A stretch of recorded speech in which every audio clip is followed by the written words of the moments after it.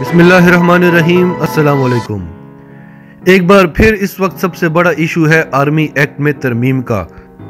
نیول act میں ترمیم، پاک فضائیہ کے ایکٹ میں ترمیم اور پاکستان بری فوج کے ایکٹ میں ترمیم۔ ان تینوں ایکٹس میں تبدیلی ہونی ہے، سروسز چیف کی تقرری، ان کا ایکسٹینشن ان کی ریٹائرمنٹ یا ان کو دوبارہ تعینات کرنا۔ یہ سارے معاملات ہم آپ کو ساتھ ساتھ بتاتے رہے ہیں۔ آپ کو پتہ ہے اس کا بیک گراؤنڈ اب یہ معاملہ آ کر پھنس گیا ہے۔ مسلم لیگ نون کے اندر لڑائی جھگڑے شروع ہو گئے ہیں، توڑ پھوڑ شروع ہو گئی ہے۔ اس پر مزید ڈسکس کرنے سے پہلے اگر آپ نے ابھی تک ہمارا channel Such T V Urdu subscribe نہیں کیا تو اسے ابھی سبسکرائب کریں اور بیل آئیکن پر کلک کریں تاکہ ہماری آنے والی تمام ویڈیوز آپ کو وقت پر ملتی رہیں۔ شہباز شریف صاحب نے پہلے ہی جا کر نواز شریف صاحب کو بولا کہ ہم اب کوئی لڑائی جھگڑا نہیں چاہتے۔ اور شہباز شریف صاحب جو اس وقت اپوزیشن کے لیڈر ہیں، ان کے نیچے رانا تنویر، رانا ثناء اللہ، خواجہ آصف۔ انہوں نے ایک یقین دہانی کرا دی، ابھی مذاکرات شروع بھی نہیں ہوئے تھے کہ ہم غیر مشروط حمایت کا اعلان کرتے ہیں۔ یہ ایکٹ ملکی مفاد میں ہے تو ہم اس سے کیوں پیچھے ہٹیں گے؟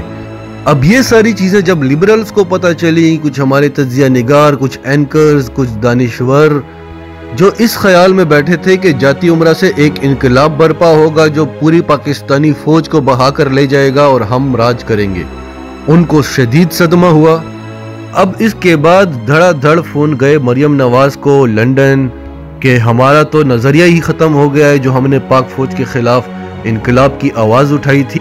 وہ دب گئی ہے، ہم تو کسی کو منہ دکھانے کے لائق نہیں رہے۔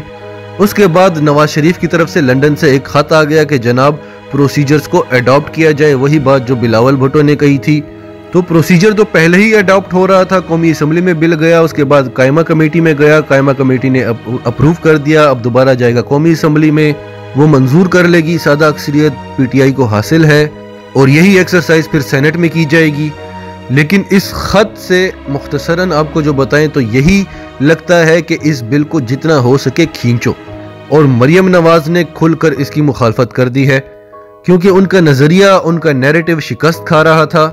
کیونکہ انہوں نے تو عوام کے زور پر انقلاب لا کر افواج پاکستان کو زیر کرنا تھا، تو انہوں نے اپنے والد صاحب کو فون کر دیا۔ اب والد صاحب کی کل بھی اور پرسوں بھی شہباز شریف صاحب سے ون ٹو ون ملاقات ہوتی رہی، ایک گھنٹے سے زیادہ کی، جس میں شہباز شریف ان کو سمجھاتے رہے۔ کہ ہماری واپسی کا راستہ جو ہے وہ مفاہمت میں ہے، مزاحمت میں نہیں۔ اگر آپ نے کبھی پاکستان میں دوبارہ اپنی پارٹی کو زندہ رکھنا ہے تو، اگر مریم بی بی کا مستقبل بھی بچانا ہے تو۔ تو اب وقت آ گیا ہے کہ آپ ماضی کو چھوڑ دیں کہ ہم خلائی مخلوق کو گرا دیں گے، ان کو ختم کر دیں گے۔ مفاہمت کی طرف آئیں، ایک اچھا میسج جائے گا۔ اس سب کے بعد مریم بی بی نے شہباز شریف کو سب کو دھمکی دی ہے کہ اگر میرا نیریٹو ختم کر دیا گیا تو ہو سکتا ہے میں استعفیٰ دے دوں۔ ہمارے راستے جدا ہو جائیں اور استعفیٰ دینے کے بعد ظاہر ہے انہوں نے گھر نہیں بیٹھنا، اپنی پارٹی بنانی ہے، جس سے نون لیگ آدھی آدھی ہو جائے گی۔ اب صورتحال یہ ہے کہ شہباز شریف مفاہمت چاہتے ہیں کیونکہ جو جو بھی نون لیگ کو ریلیوز ملے ہیں وہ خواجہ آصف اور شہباز شریف کے رویے کی وجہ سے ہی ملے ہیں۔ لیکن مریم نواز اپنا فیوچر دیکھ رہی ہیں، وہ ایک ایگریسو لیڈر بن کے سامنے آنا چاہتی ہیں۔ کمپرومائزز تو وہ کر رہی ہیں، لیکن یہ تاثر سامنے نہیں لانا چاہتی کہ ہم نے کوئی کمپرومائزز کیے ہیں۔ تو اس لیے جو بل ہفتے کو قومی اسمبلی میں پیش ہونا تھا، اسے موخر کر دیا گیا، منڈے تک روک دیا گیا ہے۔ اور نواز شریف نے تمام پارٹی لیڈران کو ہدایت دی ہے کہ اکتیس مارچ تک آپ نے بالکل خاموش رہنا ہے۔ اور اس بل کو بھی اتنی آسانی سے پاس ہونے نہیں دینا جتنا ہو سکے اسے کھینچتے رہیں، تاکہ ان کو سوچنے کا وقت مل سکے۔